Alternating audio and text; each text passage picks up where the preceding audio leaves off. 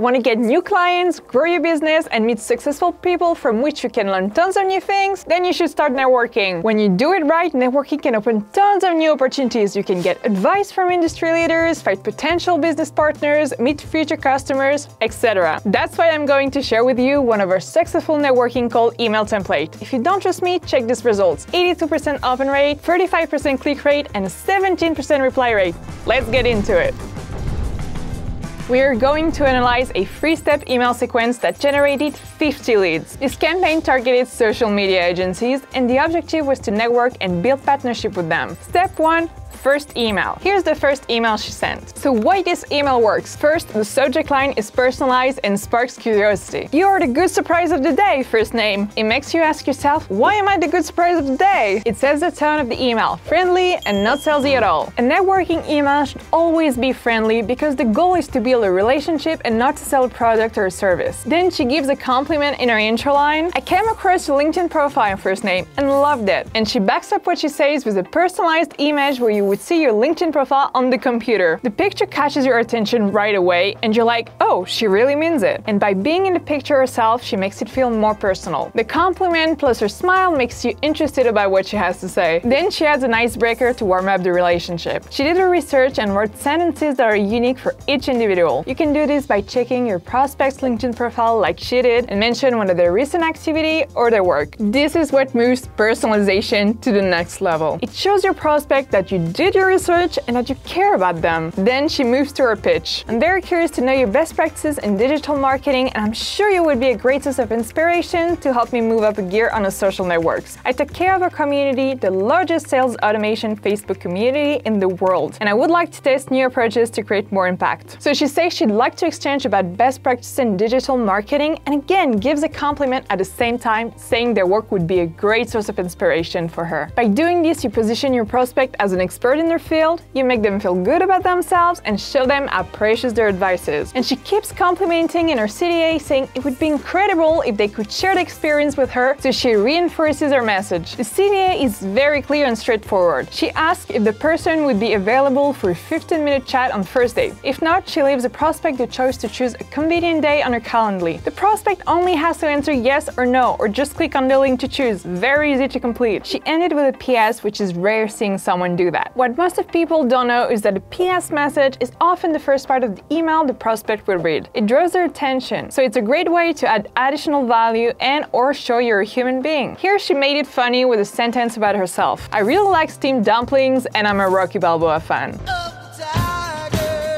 it feels more personal. Then she also explains that she didn't want to show off and talk about herself directly in her email, so she does it here, mentioning her job and what her company does. Because we saw she made the core of her email about her prospect. She reiterates she'd love to have a chat, but this time she adds value saying she'd like to show them how they help agencies create Irish campaigns that stand out. So what can you take away from this? First, personalization. This kind of message doesn't feel automated at all.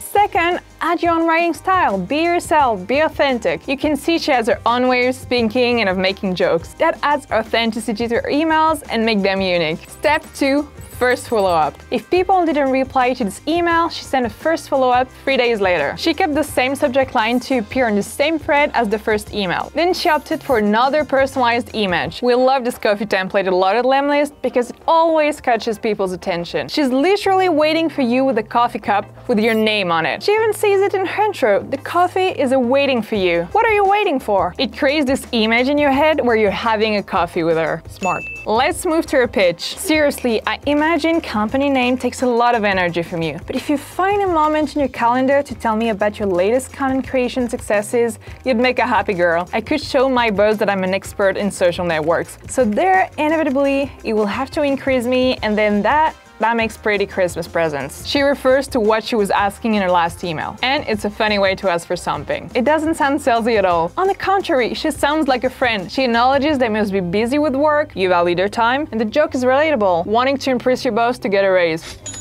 Then she offers a prospect to share the tips and tricks that have made them climb to $3 million in ARR in less than three years. So she's not only asking her prospect for advice, but she's also adding value by offering to share theirs. She adds credibility, stating the strategy made them reach $3 million in ARR in less than three years. She goes further by asking which niche suits them best so she can share a template that is the most aligned with her prospect strategy. CTA is not about having a call here she brings value first. She tries another way to make the prospect reply to her email. If they click on the email and they find it helpful, it will encourage them to respond to her email, wanting to know more. Again, it's her style that makes this email works. They're different and make you feel good after reading it. She positions herself more as a friend than a sales rep. Step 3. Second follow-up. She sent an ultimate follow-up for the last people who didn't respond. Again, she kept the same subject line to be under the same thread as the previous emails. For the pitch, what we have here is a kind and friendly reminder. Ah yes, first name, I forgot to tell you. Between the rise of a Facebook community or teams who have doubled down in six months and a new YouTube channel for SEO, I have plenty of tips to share, including the big failures to avoid in order to succeed. She brings an update and brings value at the same time, because she learned a lot of things between those two follow-ups and that could be very valuable to the prospect. It feels personal because it leaves the impression she thought about you, that this could help you. She ends with a touch of humor in her CTA. It was my last attempt to convince you to book a quick slot with me, I promise. She won't be sending more emails because she doesn't want to be pushy or spammy. But she has a calendar so they can book a slot with her if they change their mind. All of these emails performed really well. The first email generated 36 calls, the second 20 calls, and the third 8 calls. Next time you're networking, try personalization and adding your own personality to the mix. It works wonders. If you have any questions, questions, let us know in the comments. Subscribe to get the Lemnister Award. I heard it's better than an Oscar.